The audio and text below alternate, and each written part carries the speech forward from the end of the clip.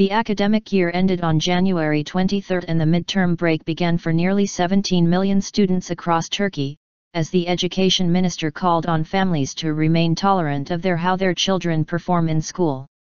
In my first year in this post, someone posted a message under my name from a fake social media account, but I liked it. It said, Hey, parents, don't get upset at kids for their school reports.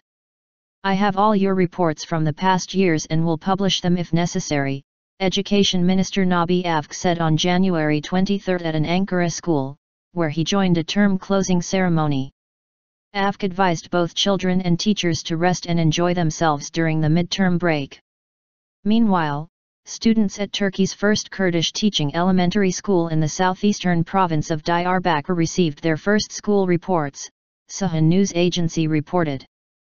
The school, which was sealed by the Diyarbakir Governorate on the day it was opened in September 15, 2014, on grounds that it was illegal, was reopened by then CO chair of the Democratic Regions Party, DBP, Zübeyde Zümrüt, breaking the seal.